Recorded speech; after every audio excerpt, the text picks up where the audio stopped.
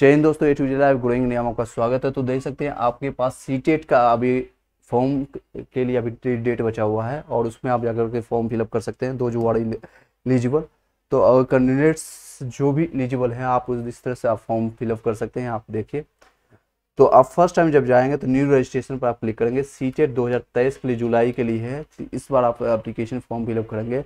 तो paper one के लिए मैं आपको बता देता हूँ, पेपर वन में आपको वन थाउज़ेंड फ़ी आपको देना पड़ेगा। और those who are preparing for कि आपको लग रहा है कि आपको यहाँ से रजिस्ट्रेशन आपको करना है।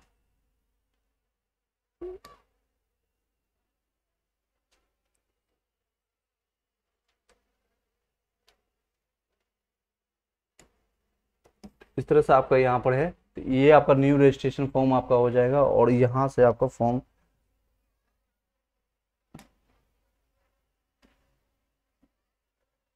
रजिस्ट्रेशन में आपका जो चार्जेस है, आपका लगेगा वन थाउज़ेंड रुपये फॉर पेपर वन के लिए। पेपर टू और वन आप दोनों साथ में देते हैं तो आपका रहेगा बारह सौ रुपये और ये आपको बैंक चार्जेस के साथ रहेगा। सी टेट का आपके इस तरह से आपको इन्फॉर्मेशन मिलेगा।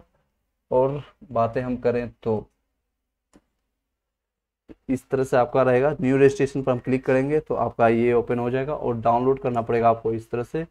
इन्फॉर्मेशन वाउचर और यहाँ पर आपको भी देखिए, इन्फॉर्मेशन दिया हुआ है। जनरल ओबीसी के लिए आपको वन थाउज़ेंड रुपये लगेगा और दोनों के लिए बारह सौ रुपये। अगर आप single S C S T category में पर्सनल डिसेबल है तो पाँच सौ रुपये एक पेपर का रहेगा छः सौ रुपये आपको दोनों पेपर के लिए रहेगा।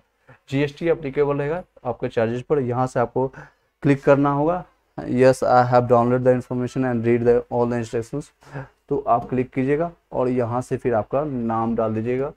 फादर नेम डाल दीजिएगा और मदर नेम डाल दीजिएगा और date of birth general category आपका कोई जो भी है टाइप मैसेज एंड कंट्री और ये सारी चीज़ इन्फॉर्मेशन आप डाल करके प्रोसीड कर देंगे। जैसे मैं आपको यहाँ पर मैं एग्जांपल देता हूँ।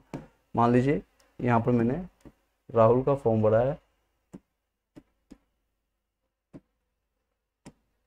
Father name.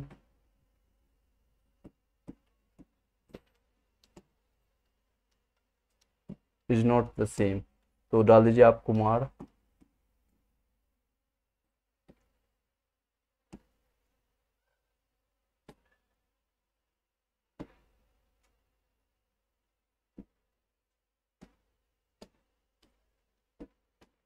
ये मदर नेम हो गया, कुछ डेट ऑफ़ बर्थ आप डाल दीजिए। तरह से आप डेट ऑफ़ बर्थ डाल दीजिए। और जेंडर आप डाल दीजिए। आइडेंटिफिकेशन वोटर आईडी है तो आप वहाँ से वोटर आईडी आप डाल सकते हैं कुछ भी। इस तरह से नंबर रहेगा presence address, name, local address, इस तरह से आप जब फॉर्म को आगे प्रोसीड करेंगे तो पासवर्ड रहेगा, सिंपल से प्रोसीजर रहेगा, आपको फ़ोटो, ये सारी चीज़ें हैं।